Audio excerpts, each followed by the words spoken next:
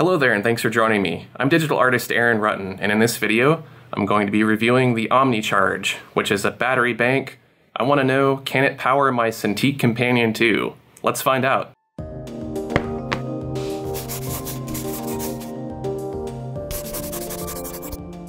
The OmniCharge is a portable battery bank and it can charge and power almost anything from laptops to phones to tablets, cameras, camcorders, GoPros, projectors, drones, TVs, and lots of other things. But what I'd really like to know is can it power a Wacom Cintiq Companion, a Microsoft Surface Pro, or an iPad Pro? We'll get to that, but first let's take a look at the device itself.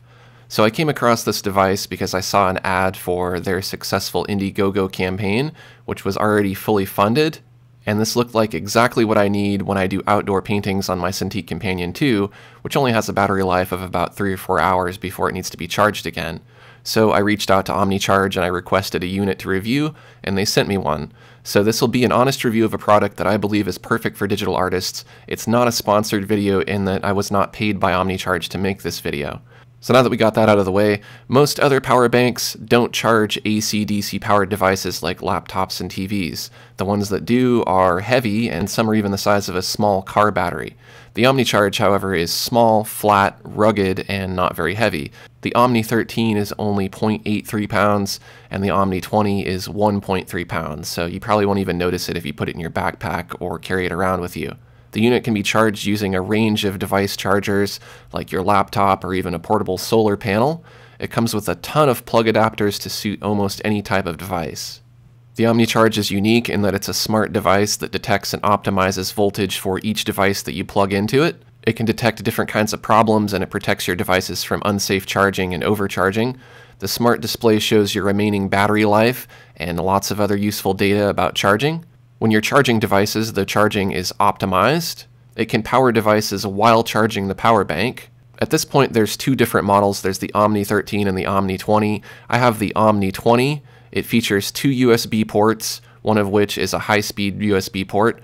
It also has one AC-DC, which is that familiar three-prong plug. It also has QI wireless charging, and it can power up to a 100 watt device. So my Cintiq Companion is just under 100 watts. There's the Omni 13, which is slightly less powerful. It still has two USB ports and one AC-DC outlet, but it only powers up to a 65 watt device, so you'll definitely want the 20 if you want to be able to charge a laptop.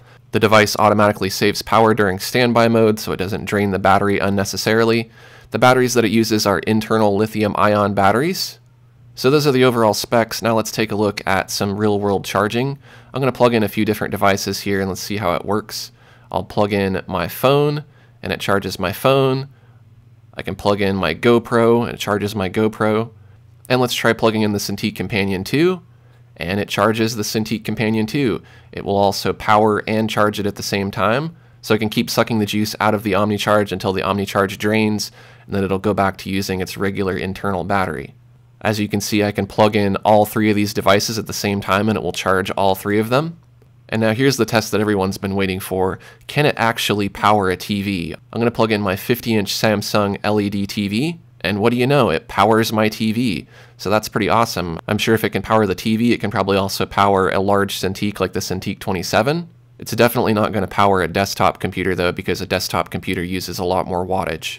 So as far as battery life, I'm currently testing it with the Cintiq Companion, but according to OmniCharge, it can power laptops for up to 13 hours, depending on the laptop. You can charge a DSLR camera 4 to 6 charges. You can power a digital projector up to 3 to 5 hours.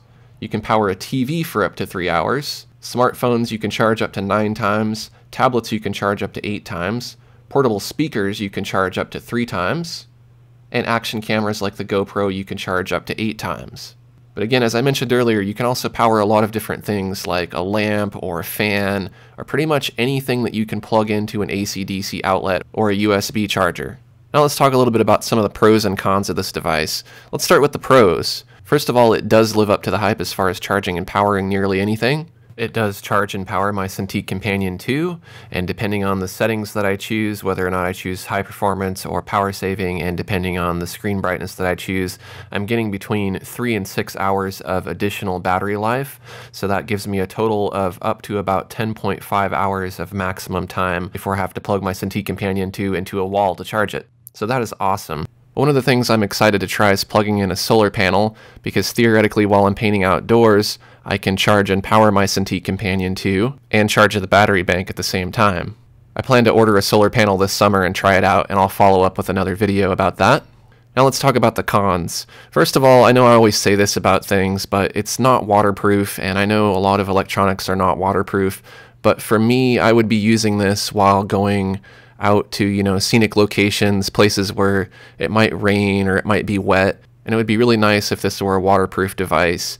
The Cintiq Companion 2 isn't waterproof either, so, you know, obviously this is kind of a, not necessarily a fair con, but it's a feature that I'd like to see.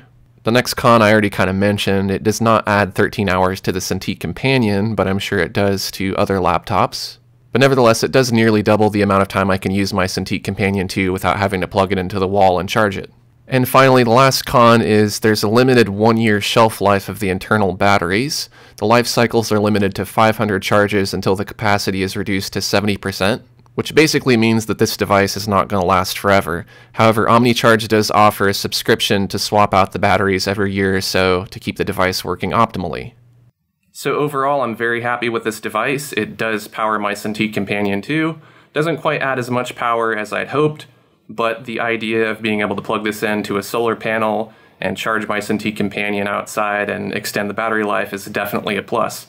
So definitely pick this up if you're a digital artist who paints outside the studio. It works great for the Cintiq Companion, the Microsoft Surface Pro, and the iPad Pro, as well as lots of other tablets and laptops. If you found this information helpful, take a quick second to like this video. And if you're new to my channel, I'd love to have you subscribe. I have a lot more reviews of digital art products like this. Thanks for watching, and I'll see you next time.